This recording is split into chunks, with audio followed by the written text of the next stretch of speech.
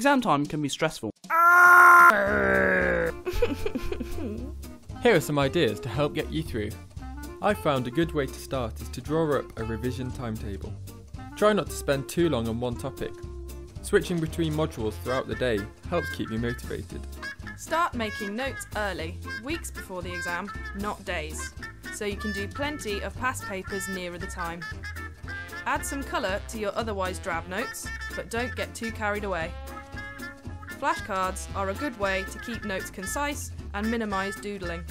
During revision periods, taking breaks is important to help keep you sane. It's a good idea to make a cup of tea, go for a walk, or watch some YouTube videos. About 30 minutes is ideal, but don't get too distracted.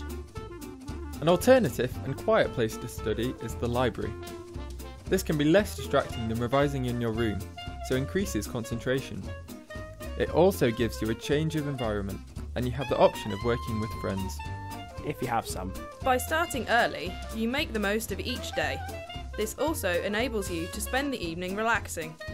Movies, societies, or a trip to Mooch are all great ways to do this. And finally, all nighters and sleepovers in the library are not the great idea you think they are. Make sure you get plenty of sleep.